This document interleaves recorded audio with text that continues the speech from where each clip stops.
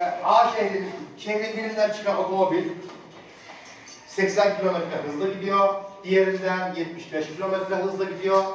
3 saat sonra karşılaşıyorlar.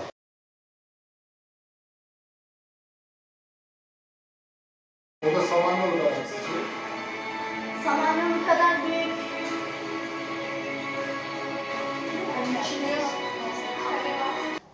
Çünkü ilk sanat eserlerinin mağaralarda çizilen hayvansal figürler olduğundan bahsettik.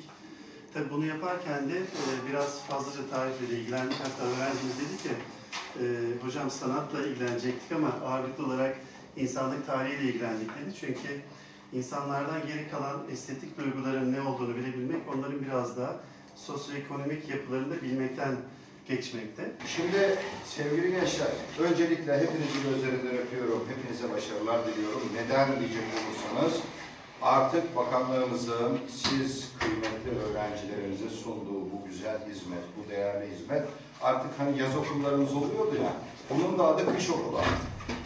Bu ara tatilde kış okulu e, diye bunu tanımlıyoruz. Şimdi tabii 8. sınıf olmanız ayrı bir önemli. Hedefleriniz olması, hayalleriniz olması. Bu hayaller sevgili gençler sadece akademik başarıya dair olmasın. Hayalleriniz mutlak surette ben bu güzel ülkede, bu necip millete nasıl hizmet edebilirim?